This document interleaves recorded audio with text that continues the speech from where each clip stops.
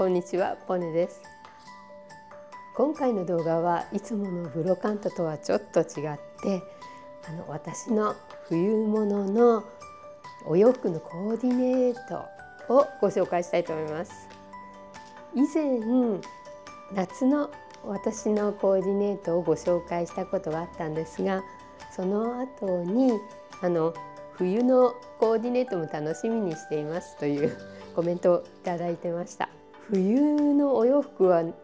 ちょっと自信がなくてなかなか取れなかったんですがようやく今回取ることにしました。皆さんもご存知だと思うんですがあの私は10年前にフランスに来てからほとんど、えー、正規のお値段で新品のお洋服買ったことがありません。唯一新品のお洋服買うのはザラとユニクロと、えー、モノプリぐらいです。そのザラやモノプリやユニクロでもセールの時ぐらいしか買いません。お洋服にかける予算があまりないのでなるべくシンプルでなおかつあまり安っぽく見えない。そしてちょっとミニマリスト的おしゃれに見えるかな。という路線に行くしかないなと思って本当に今回皆さんにご紹介していいのかなと思うぐらいシンプルなコーディネートです。限られた予算の中でもこんな風に楽しんでますっていうのをご紹介できたらいいなと思いました。でこれは取ると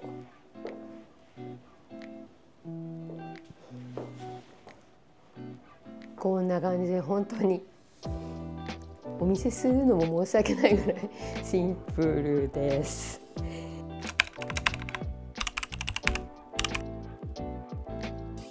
でえー、とですねこの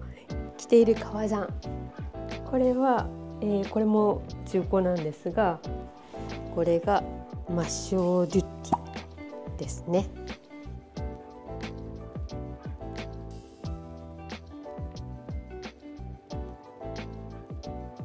ネットの個人売買で本当にお安く買えました。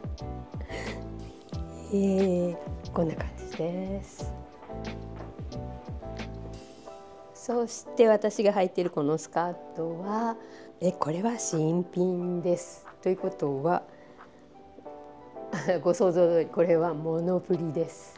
コーデュロイのこの丈の長さなので寒くてもあの厚手のタイツを履いてしまえば外でも着れるかなと思って買いました。あの日本にいる時には結構スカートを履いてたんですがパリに来てからほとんど履かなくなりました。なぜかというと気温です。飲みの市などに出かけることが多いのでその時は、えー、っと結構長い時間外にいます。とにかく寒くないように着込んで着込んで着込んで出かけるのでスカートをほとんど履かなくなってしまいました。ということで私が持っている冬のスカート4着5着4着ぐらいかな。そしてこの中のセーターはこれはカシミヤなんですがもちろんこれはユニクロさんです本当にユニクロさんのおかげでカシミヤが着れるありがたいなと思ってますでブーツ。今履いてるこのブーツは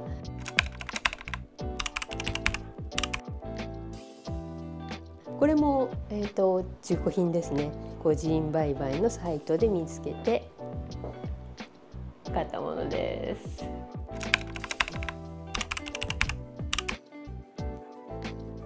枕を変えてみるとこんな感じです。次はこれです。私の動画をご覧になってくださってる方は記憶に新しいと思います。え先日撮ったブルターニュ通りの飲みの市の時に着ていたコーディネートです。こんな感じ。確かあの時はこの帽子はかぶっていなかったような気がする。このジャケット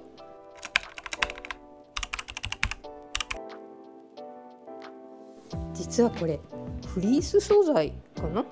あのザラのメンズです。最近私をよく撮ってくださってるあのエイコさんがザラのメンズに結構いいものあるよと教えてくださってで一緒に行って見つけたものです。これはメンズの多分 S, S サイズですね。なのでちょっと袖丈は長いんですがその分冬はあったかいです。これ多分こういう素材だからだと思うんですがすごく軽くて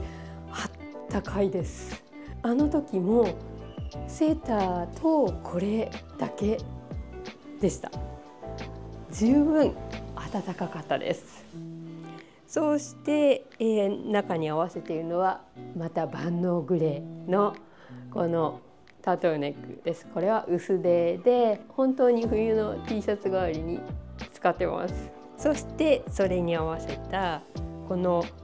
デニムのスカートなんですが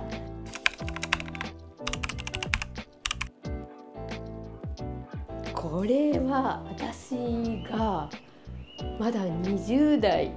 の頃に買ったものです。確かえ新宿のセレクトショップで買ったんですがデニムなのにえー、こんなにするの？というぐらいのちょっと高いお値段でした。でその時は迷ったんですがでもこの何にでも合わせられそうな竹といい色落ち感といいえいと思い切って買ったものです。そして買って大正解でした。このデニムという素材なので擦り切れるまでは切れますよね。ましてや流行り廃りは全くないデニム素材。本当にこれは買ってよかったなと思ってます。ちょっとこの辺今ダメージがあるんですがこれ確かお掃除で漂白剤を飛ばしてしまってその時のものですね。でもデニムなのでそういうダメージもむしろいい感じですよね。このベルト。これも確か日本の原宿の古着屋さんですね。で買ったあのこのアーミーのベルトです。これはその時すごくハマっていた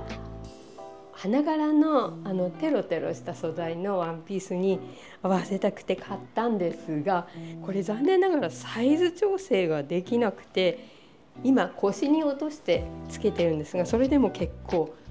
これだけゆとりがある大きさで結局だからワンピースには使えなかったものです。でも捨てずに取っといてよかったなと思ってます。でブーツは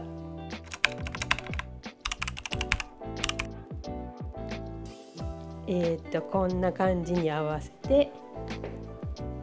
ちょっとごついタイプのにしてみました。これは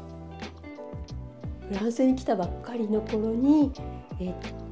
インターネットの靴のサイトでセールになっていたものを買ったものです。そしてこの帽子はこれ去年の末ぐらいかなに買ったものでコスです。この綺麗なブルーに一目惚れでした。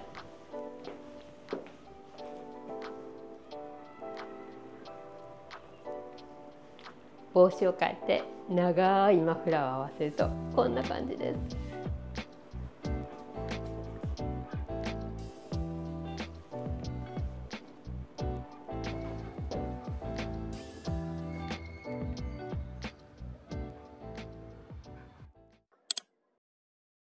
そして次がこの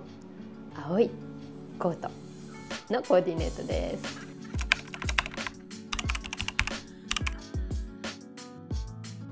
このコートは最近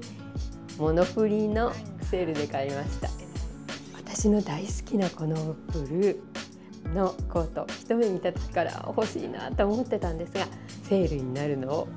待ってました。ようやくセールになったので買ったものです。このコートどうして欲しかったかというと、まあ、色もあるんですけれど寒いけどそれほど寒くない。だけど革ジャン1枚で寒いかなという半端な気温の時に1枚さらっと羽織れるものが何か欲しいなとちょうど思ってました。でそんな時にちょうどこれをモノプリで見つけて本当に1枚さらりと羽織るコートぴったりでした。なぜかというとさすがモノプリ裏地がないんですね。びっくりしました。私コートで裏地がないのってあんまり見たことがなかったのでおおさすがモノプリ裏地がないと思ってそのおかげで多分さらりと羽織れるように軽いコートになってるんだなと思います。さすがモノプリって感じで。でも本当に可愛いですよねモノプリワンピースも大好きですけどコートもこんな感じで可愛いのが結構あります。そしてこのコートに合わせて持ってみたのがこのバッグです。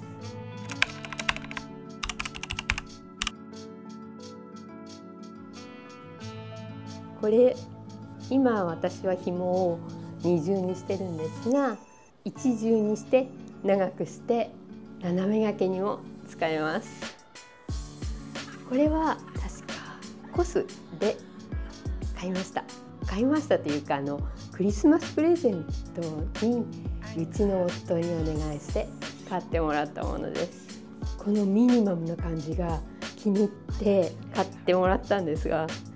あの私いつもものすごい荷物を持ち歩いて外に出てるんですね。なのでこれを持つ機会が本当になくて未だに2度確か2度2度使ったきりで大事に取っといてありました。お財布と化粧品ぐらいかな。は入れれるかなという感じのバッグです。可愛いですよね。斜め掛けにするとこんな感じです。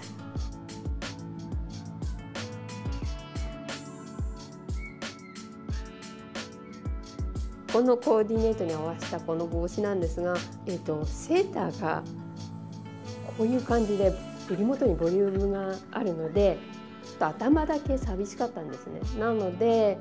あのこの帽子をかぶったんですけれどこの帽子ちょっと私には大きくて風が吹いたら飛んできそうな 大きさです。なぜかというとこれあのユニクロのイネスで、えーと、欲しいなと思ってた帽子だったんですが行ってみたらちょうど L サイズしかなくてそれでも可愛い形だなと思って買ったものです。そうしてこの中に着ているこのセーターなんですけれど。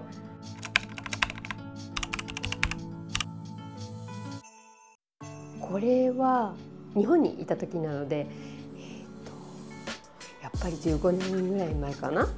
にインターネットショップで見つけてその可愛いらしさに思わずポチッと買ってしまったものです。これ脱いでみますね。とそうするとこんな感じで私の動画をご覧になっていらっしゃる方は見覚えがあるかもしれません。私の好きなハーブティーをご紹介した時にデニムのスカートに合わせて着ていたものですこの襟元が本当に大きくて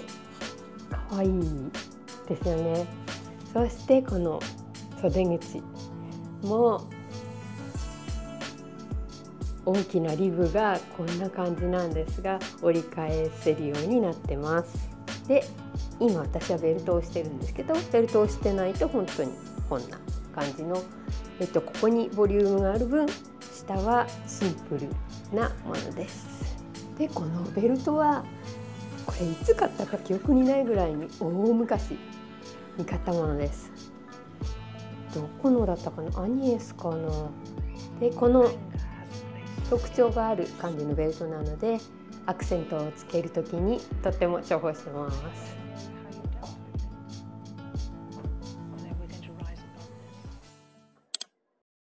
これは寒いけどスカートが履きたい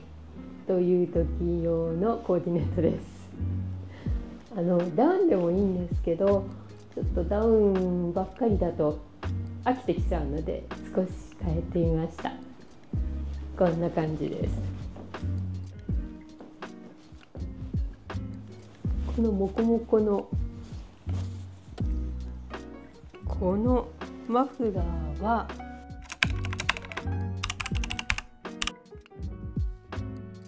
えっと実はこれがえっと中なんですね。こちらが外で本当はショールでこういう感じでここで留めてこういうふうに使うものだそうです。これはずいぶん昔に買いました。フランスに来るちょっと前だったので15年ぐらい前 に買いましたせっかくこの可愛いモフモフがあるので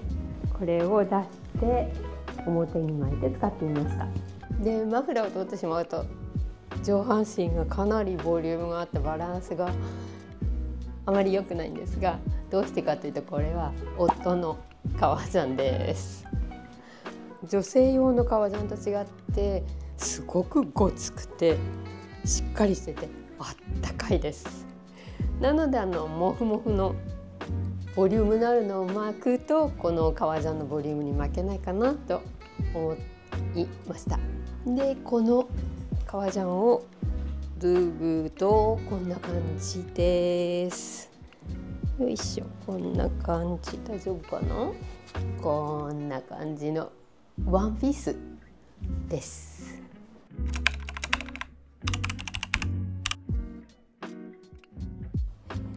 このワンピースはコスで買いました。私が新品のものを買うブランドのもう一つにありましたね。このコスです。最近はあまりちょっと買わなくなってしまったんですがあのよくコスのセールで買ってました。これはデニムの、えー、かなり長いワンピースになります。そのワンピースに合わせたセーターは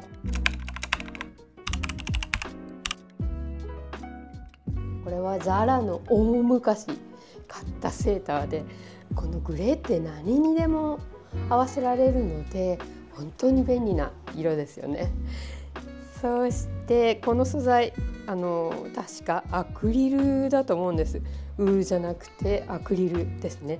なので全然チクチクしないし高いものじゃないので本当に気軽にどんどん消えます。と言いながら何年ももう着てます。本当にこれはお得だったなと思います。ザラってあの探せば本当にいいものいっぱいありますよね。これもそんなザラの一つでした。そしてこの靴。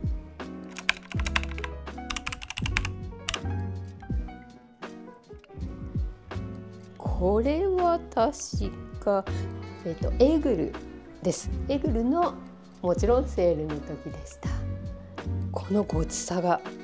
長いワンピースにぴったりかなと思ってます。とっても気に入ってます。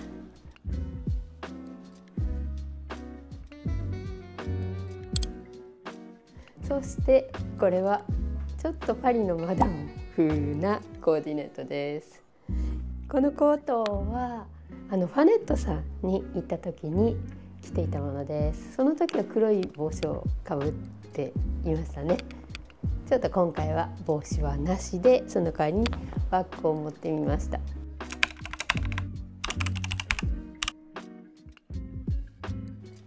このバッグは、えーと、ソニーアリティエルかな？あのもちろん買ったものではなくて あのいらないからと言われていただいたものです。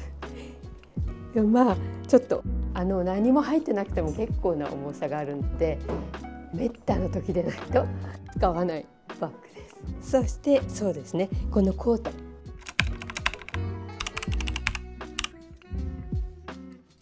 このコートなんですがこれはモノプリです。モノプリなんですがあのセールで買ったわけではなくて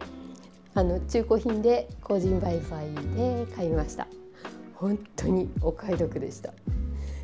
でどこにもダメージがなくて本当にほとんど着てなかったんじゃないのかなという感じです。これとってもあったかくてあのファネットさんに行った時も確か0度近い気温でした。でもこれと中にユニクロのヒートテックを着込んでセーターを着たら最強でした。そして中に着ているこのセーター。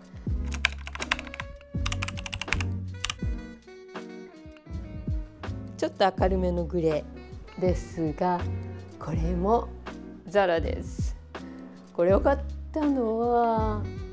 これはフランスに来てからセールの時に買ったような気がします。これ結構長めで多分ワンピースだけじゃないかなと思います。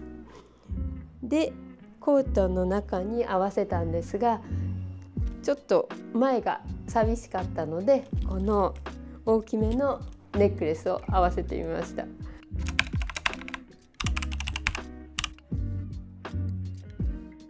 このネックレスは、えーと、フランスに来る時に、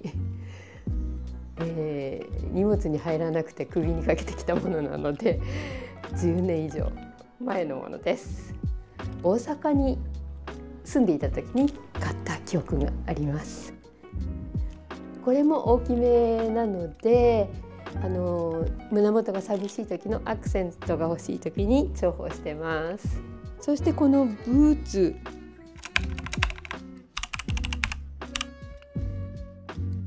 これもう大のお気に入りでガンガン履いてます。この靴ももちろん個人売買のサイトで買ったものです。今メーカー名見てみたんですがフリーフレックスと書いてあって私はあまり知らないブランドです。でも本当に気に入ってよく履いてます。カーキのコーディロイのパンツもえーと中古品でした。ということは私が今着ているものの中で新品で買ったものはこのザラとこの日本で買ったネックレスだけですね。どうですか？ちょっとエレガントな感じに見えるかな？そしてこれはちょっとエレガントに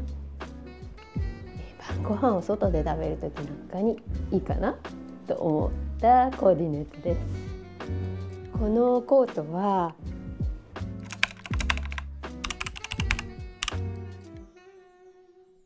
触っていると本当にうっとりするぐらい気持ちがいいんですけどもちろんこれは本当の毛皮じゃありません。マンゴーのこれもセールで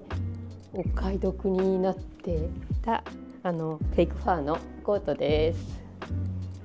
こんな感じです。これはとってもあったかいし着心地がいいし大好きなんですけれどなぜかうちの夫はこれが大嫌いで私がこれを着るとそれを着るなら一緒に出かけないと言われました。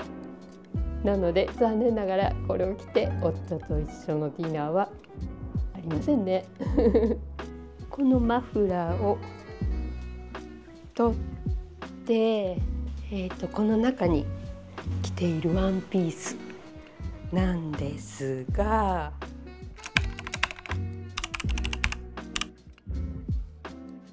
これは確かまだフランスに来る前で京都に住んでいた時にプラス J で買ったワンピースです。あの私は冬のワンピースというのはこれだけです。本当にワンピースを着る機会ってないんですよね。えっ、ー、とパネ家はほとんど外食することもないので、えー、冬は寒いしカートを履くこともあまりないしとなるとワンピースの出番が全くなくてこれもえーと一度ぐらい確か、えー、皆さんであの夕飯を食べに行った時に一度来たかなというぐらいでそれ以来一度も来ていません。なのでちょっとディナーのコーディネートをしてみたんですがえっと、これでいけたらいいなという私の、えー、夢コーデでした。えーと、ちょっと今胸元にマイクがついてるんでここに何かがあるなっていう感じなんですがこれマイクがないと本当に何にもないシンプルな真っ黒いワンピースなんですね。なので私はちょっと今ここにアクセサリーをつけてみますね。じゃーんという感じで。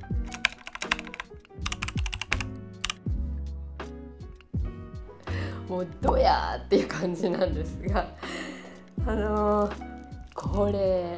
私がシンガポールにいた時に手作りしたものです。シンガポールにいた時にちょっとラジオであのレポーターのあのボランティアのお仕事をさせていただいてたことがあって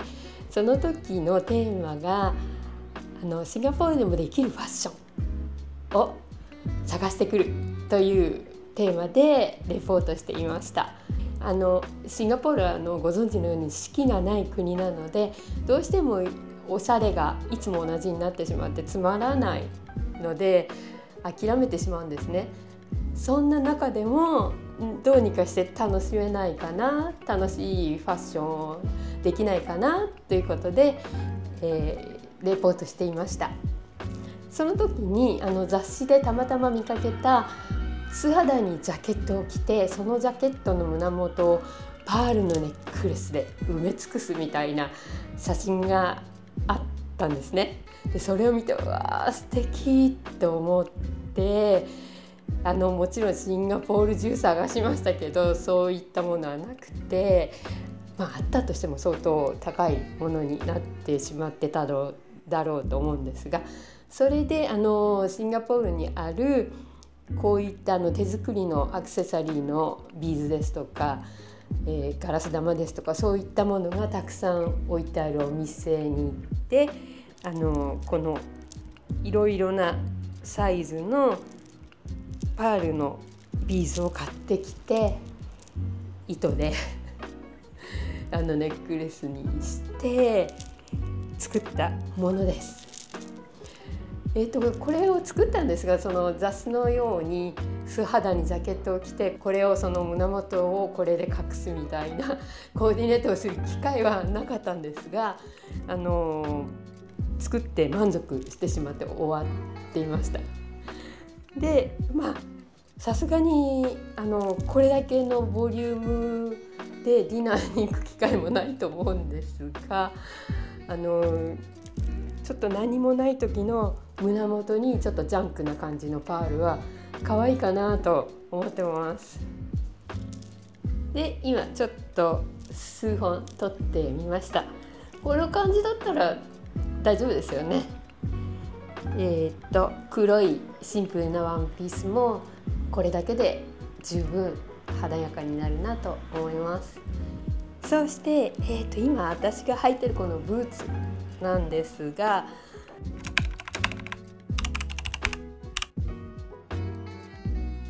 これあのイタリアのもので皮がとっても柔らかくてあのこういう感じで自然なシワが足首によります。あのこれはやっぱり大阪に住んでいた時に買ったものなんですがあの残念ながらまだ一度も外で履いてません。なぜかというと私は実は外反母趾がひどくてあのヒールの靴を今もう履けない感じなんですね。でこれを買った時ももうすでに痛かったので履けないかなと思ったんですがこの皮の柔らかさとこの色がとってもいいなと思ってつい買ってしまいました。そして家で眺めてはいるんですが結局まだ外では履いてませんこれいつか外反母趾の手術をして治さなきゃいけないかなと思っているんですがその勇気が今一歩出なくて相変わらずなんですがいつかいつかきっと 履きたいなと思います。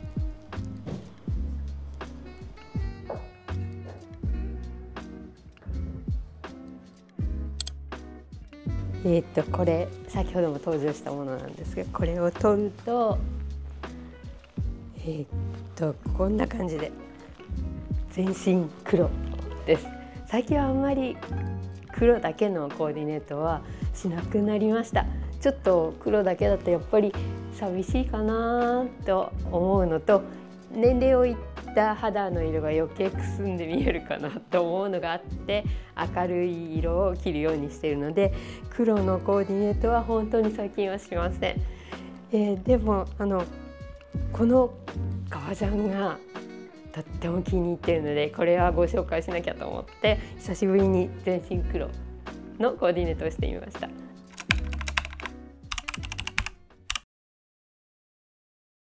あのこれこの革ジャン実はえっ、ー、とサンローランです。あのもちろん中古で個人売買のサイトで買ったものです。本当にびっくりするぐらいこれお安かったです。コスやユニクロやモノプリしか買わない。私でも手が出たお値段です。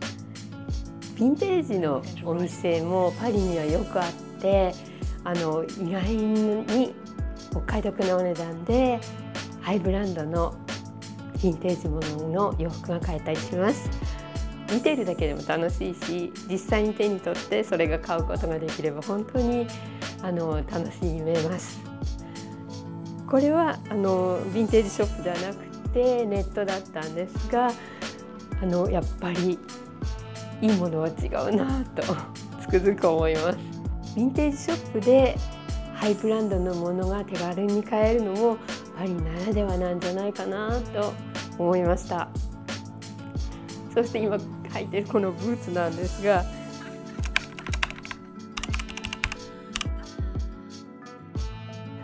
これ私が20代の頃に買った卑弥呼です。一度日本でかかとが取れてしまって直していただいてそれからもあのずっとお手入れをしながら使ってきていました。これはもうそろそろ勝負した方がいいかなと思ってます。今までよく持ってくれました。ありがとうっていう感じです。